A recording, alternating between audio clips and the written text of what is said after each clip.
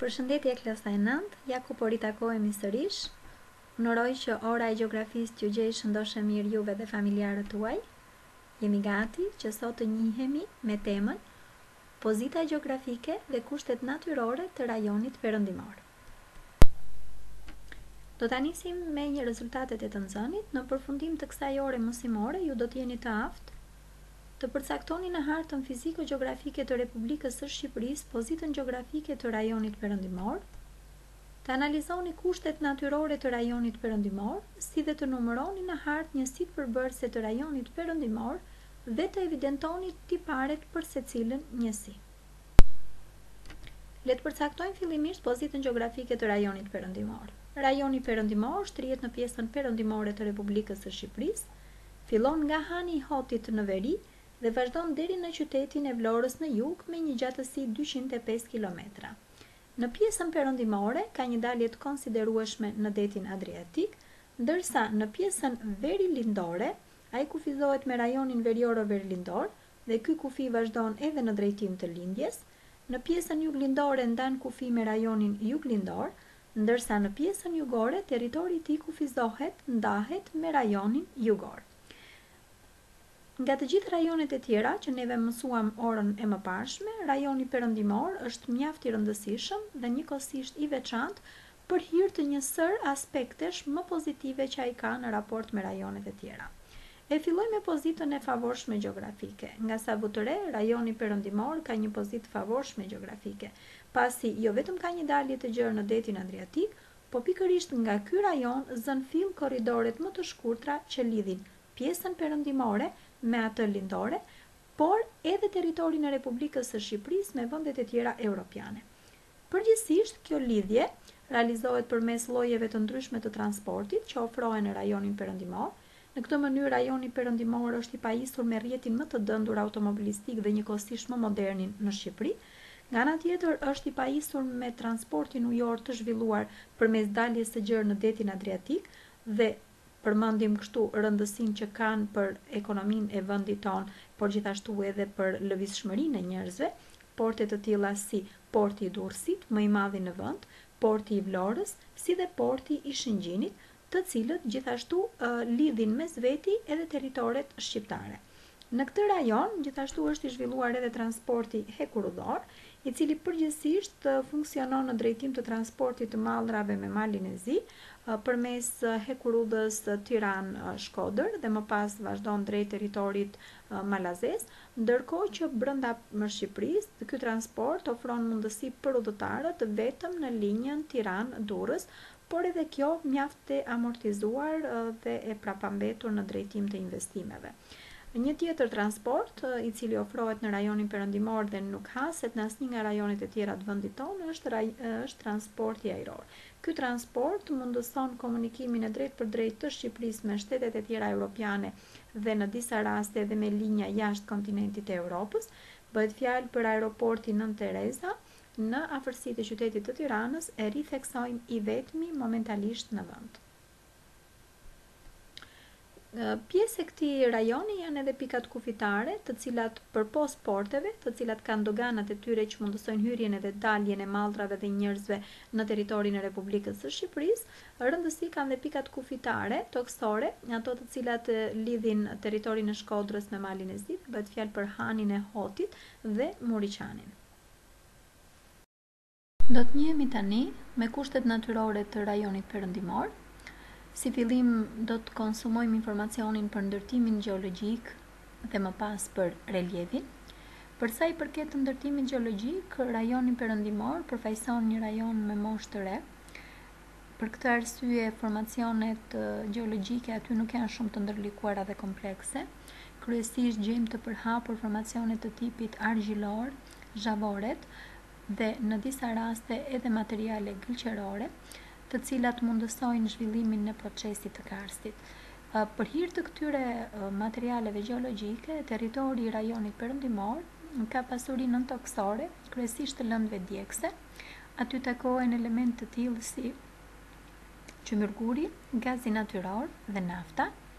Shohim, rezervat qymyrgurore në territorin e rajonit perëndimor janë të përhapura përgjithësisht në pellgun e Tiranës, në qendra të tilla si Valia, si Manza, Gërdeci, ndërkohë që për sa i përket rezervave të naftës dhe të gazit natyror, sepse ato të dyja bashkëshoqërohen me njëra-tjetrën, I gjejmë të përhapura kryesisht në territorin e Kuçovës, Patosit, Ballshit. Ndërsa për sa i përket relievit, relievi i rajonit perëndimor karakterizohet kryesisht nga trajtat fushore, të cilat kanë një lartësi të ulët mbi nivelin e detit, përgjithësisht me një mesatare nga dyqind në katërqind metra lartësi. Fushat janë ato të cilat dominojnë. përgjithësisht në pjesën më perëndimore të tij, ndërkohë që duke shkuar drejt lindjes, relievi lartohet tek-tuk në formën e formacioneve kodrinore. Fusha më e madhe është ultësira perëndimore, e cila nuk është vetëm fusha më e madhe e Republikës së Shqipërisë, por është edhe fusha më e madhe e Ballkanit Perëndimor, dhe pjesë e rëndësishme e kësaj fushe është fusha e Myzeqesë. e cila përbën fushën më të madhe brenda rajonit perëndimor dhe njëkohësisht atë më pjellore. Do të vazhdojmë me pjesën tjetër të kushteve natyrore, do të njihemi fillimisht me klimën dhe më pas me hidrografinë. Le ta fillojmë me klimën. Për sa i përket të klimës, ky rajon, duke qenë se ka një dalje të gjerë në detin Adriatik dhe një lartësi mbi nivelin e detit relativisht të ulët, mundëson depërtimin e masave ajrore detare në brendësi të territorit.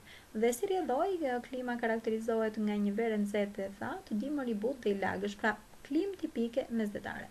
Për sa i përket reshjeve të të borës, ato janë një dukuri e rrallë, të cilat hasen më se tepërmi në rajonet kodrinore të rajonit. Shumë rrallë, ato i afrohen territoreve pranë bregdetit. Erat karakteristike të rajonit perëndimor janë puhia detare, murllani, kryesisht në veri të këtij territori, si dhe erërat e ngrohta e të lagështa të cilat fryjnë nga jugperëndimi dhe perëndimi. Për sa i përket temperaturave, ato luhaten nga katërmbëdhjetë pikë tetë gradë Celsius në Shkodër, temperaturë mesatare vjetore, deri në gjashtëmbëdhjetë pikë pesë gradë Celsius në qytetin e Vlorës. Ndërkohë që sasia e reshjeve më e madhe është regjistruar në ultësirën e Shkodrës me një mesatare një mijë e pesëqind deri në dy mijë milimetra në vit. Le të kalojmë tani tek hidrografia. Për sa i përket hidrografisë, ky rajon ka një hidrografi shumë të pasur, që përfaqësohet nga rrjedhat e poshtme të lumenjve më të mëdhenj të vendit tonë dhe i marrim me radhë lumi Drin, i cili ka një gjatësi dyqind e tetëdhjetë e pesë kilometra, lumi Mat, me një gjatësi njëqind e dyzet e katër kilometra, lumi Ishëm, me një gjatësi njëqind e njëmbëdhjetë kilometra, Erzeni, me një gjatësi prej njëqind e tetë kilometrash, Shkumbini, me një gjatësi prej njëqind e tetëdhjetë e një kilometrash, Semani, me një gjatësi prej dyqind e tetëdhjetë e një kilometrash dhe Vjosa, me një gjatësi dyqind e shtatë kilometra. Këta janë lumenjtë më të rëndësishëm të këtij rajoni, por përpos tyre në territorin e rajonit perëndimor rrjedhin edhe lumenj si Buna, Kiri, Gjadri, Droja, Gjanica, dhe shumë dhe lumenj të tjerë të cilët çojnë në formimin e lumenjve kryesorë. Mes të tyre përmendim edhe lumin e Devollit dhe Osumit, të cilët nga bashkimi krijojnë lumin Seman. Ndërkohë që ka liqene të konsiderueshme me origjinë tektonike është liqeni i Shkodrës, ndërsa me origjinë karstike janë liqenet e Dumresë, të cilat do t'i prezantojmë pak më poshtë në momentin që do të marrim informacion në lidhje me pllajën e Dumre-Darsisë. Ka disa laguna në pjesën bregdetare, laguna të tilla si e Karavastasë, e Nartës, e Patokut e Kune Vainit. Ndërkohë që është i pasur si rajon edhe me ujëra arteziane dhe numër të konsiderueshëm burimesh. Vazhdojmë me tokën dhe botën e gjallë. Për sa i përket tokave, llojet më kryesore të tokave të përhapura në këtë territor janë kryesisht tokat e hirta kafe, por gjithashtu gjenden në këtë territor edhe toka azonale si moçalore, tokat e kripura dhe tokat aluvionale. Ndërsa lidhur me sipërfaqet pyjore, faktikisht ky është rajoni që ka sipërfaqen më të vogël të bimësisë natyrore, kjo e lidhur drejtpërsëdrejti me numrin e madh të popullsisë dhe nevojën që ky numër i madh i popullsisë ka patur për tokë bujqësore. Kësisoj, terrenet pyjore janë zvendësuar me terrene ku mbillet bimësi e kultivuar. Pavarësisht kësaj, flora natyrore vazhdon të përfaqësohet me disa masive pyjore të tilla si Pylli halor i Divjakës, Pylli me dushqe i Rodonit dhe ai i Ardenicës, si dhe pyjet e përziera të Kunes. Ndërsa për sa i përket faunës është e kufizuar vetëm në disa lloje, përmendim këtu shpendët ujorë si patat e egra, pelikanin kaçurrel, Rosat dhe shpendët e tokës si thëllëza e fushës apo shkurta, ndërsa nga kafshët haset çakalli, dhelpra dhe ujku. Do të njihemi tani me njësitë përbërëse të rajonit perëndimor. Vëreni hartën e cila sapo u shfaq në ekranin tuaj. Aty do të lokalizojmë njësitë përbërëse të këtij rajoni. Si fillim, rajoni do të ndahet në dy njësi të mëdha. Ultësira e Shkodrës dhe njësia e dytë fushat dhe kodrat midis Lezhës dhe Vlorës. Për sa i përket Ultësirës së Shkodrës, ajo shtrihet në pjesën veriore të këtij rajoni dhe karakterizohet nga një fundosje tektonike, në tabanin e të cilës u akumuluan depozitime gëlqerore.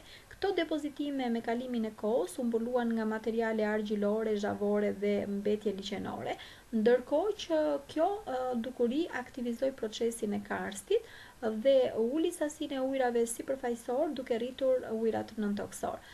Për sa i përket ultësirës së Shkodrës, ajo ndahet në dy nënjësi, në pjesën veriore të saj ndodhet ultësira e Mbishkodrës dhe në pjesën jugore ndodhet ultësira e Nënshkodrës. E dyta përfaqëson edhe njësinë më të madhe të ultësirës së Shkodrës, që përshkrohet nga rrjedha e lumenjve Drin dhe Bunë, Në pjesën më jugperëndimore, territori lartohet tek-tuk në formën e masiveve kodrinore të Rencit dhe të Kakarriqit. Ndërkohë që për sa i përket njësisë së dytë, fushat dhe kodrat midis Lezhës dhe Vlorës, aty takohen disa nënjësi, të cilat do t'i përmendim me radhë. Nisim fillimisht me fushat të cilat shkojnë deri në rrjedhën e Erzenit të Mesëm, kemi të bëjmë me fushën e Lezhës, fushën e Durrësit, si dhe fushën e Tiranës. Këto tre fusha shkojnë deri në territorin nga Shëngjini në veri dhe deri në Luginën e Erzenit në jug. Karakterizohen kryesisht nga prania e gëlqerorëve dhe terrigjenëve. Ndërkohë që, siç i përmendëm, fushat, pjesë e fushë e kësaj hapësire janë edhe disa masive kodrinore, të njohura si Kepi i Rodonit, Vorë, Erzen. Pjesë e territorit është edhe fusha e Elbasanit. Fusha e Elbasanit gjendet në rrjedhën e mesme të Shkumbinit dhe rrethohet nga kodrat e Krrabës dhe të Sulovës. Ka toka pjellore dhe edhe kjo ashtu si ultësira e Nënshkodrës është formuar nga një fundosje tektonike. Fushë tjetër e rëndësishme, mbase dhe më e rëndësishmja e gjithë Ballkanit, është fusha e Myzeqesë. Fusha e Myzeqesë karakterizohet nga një numër i konsiderueshëm nënfushash apo nënnjësish, të cilat njihen me emra të tillë si Fusha e Kavajës, Myzeqeja e Madhe, Myzeqeja e Vogël dhe Myzeqeja e Vlorës. Sipërfaqen e rrafshët të kësaj fushe e ndërpresin tek tuk kodra të tilla si kodrat e Divjakës, Ardenicës, Frakullës dhe të Kryevidhit. Ajo nuk është vetëm fusha më e madhe e Republikës së Shqipërisë dhe e Ballkanit Perëndimor, por është edhe hapësira më pjellore e vendit tonë. Ndërkohë do të kalojmë tani tek të tjera forma relievi, flasim tani për pllajën e Dumre-Darsisë, e cila përfshihet në kodrat e Darsisë dhe pllajën karstike të Dumresë, Darsia ka në përbërjen e saj shkëmbinj të tipit terrigjen dhe për këtë arsye është e copëtuar në pjesën e sipërme të saj për shkak të rrjedhave sipërfaqësore, ndërsa Dumreja përbëhet nga gipse dhe si rrjedhojë ka të aktivizuar procesin e karstit, për këtë arsye në territorin e Dumresë haset një numër i madh liqenesh me origjinë karstike, Numri i tyre shkon mbi tetëdhjetë, ku vitet e fundit i është dhënë një prioritet i madh Liqenit të Belshit dhe rigjenerimit të zonës përreth, duke tërhequr turistë vendas dhe të huaj. Ndërkohë që të tjerë liqene në këtë hapësirë përmendim Liqenin e Merhojës, Liqenin e Çestijes dhe Liqenin e Seferajt. Karakterizohen nga bukuri, mjaft e këndshme dhe unike për llojin e tyre. Ndërkohë lartësinë më të madhe nënnjësia e arrin në pllajën e Dumresë me katërqind e pesëdhjetë metra lartësi dhe siç e përmenda numri i madh i liqeneve vitet e fundit e ka shndërruar Dumre-Darsinë në një atraksion turistik. Kalojmë tani tek sistemet kodrinore. Kodrat e Sulovës, të cilat përbëhen nga terrigjenë dhe gëlqerorë dhe kanë një reliev të çrregullt, që copëtohet nga rrjedha e përrenjve të shumtë. Kodrat e Mallakastrës janë grumbulli kodrinor më i madh i të gjithë rajonit dhe gjithë Republikës së Shqipërisë. Pjesa dërmuese e tyre shtrihen në lartësi treqind shtatëqind metra mbi nivelin e detit dhe përbëhen kryesisht nga terrigjenë. Vetëm në disa zona hasen shkëmbinj të tipit gëlqeror që e kapërcejnë lartësi mbi shtatëqind metra mbi nivelin e detit. Ndërkohë që një tjetër masiv kodrinor është zona kodrinore, Midis Erzenit të Mesëm dhe Shkumbinit të Mesëm. Vini re pozicionimin e kësaj hapësire, pra kodrat midis Erzenit të Mesëm dhe Shkumbinit të Mesëm. Kjo hapësirë përbëhet kryesisht nga shkëmbinj të tipit terrigjen dhe gëlqeror dhe sigurisht që përbërja e gëlqerorëve dhe terrigjenëve justifikon edhe copëtimin e relievit nga degët e lumenjve Erzen dhe Shkumbin. Le t'i shohim pak pamjet e disa prej njësive më të rëndësishme. Imazhi i parë që u paraqit karakterizon fushën e Myzeqesë, që thamë është fusha më e madhe e vendit dhe më pjellorja. Imazhi i dytë ju identifikon me kodrat e Kërrabës, një prej kodrave të cilat ndodhen midis Erzenit të Mesëm dhe Shkumbinit të Mesëm. Imazhi i tretë ju përfaqëson ultësirën e Nënshkodrës dhe imazhi i katërt ju jep pamjen e një prej liqeneve me origjinë karstike në Pllajën e Dumresë. Ky ishte mësimi për sot, unë ju falenderoj që më ndoqët, shpresoj që mësimi të ketë qenë interesant dhe i qartë për të gjithë ju. Tani e keni radhën ju që të hapni tekstet tuaja në faqen njëqind e tetëmbëdhjetë, njëqind e nëntëmbëdhjetë dhe njëqind e njëzet, Lexoni me vëmendje materialin mësimor dhe nëse do të hasni në vështirësi, ju lutem më kontaktoni. Pasi të keni përfunduar mësimin dhe të mos keni paqartësi, punoni me ushtrimin tre në faqen njëqind e njëzet. Së bashku do takohemi në orën pasardhëse, nga unë mësuese Eliona, paçi një ditë të bukur.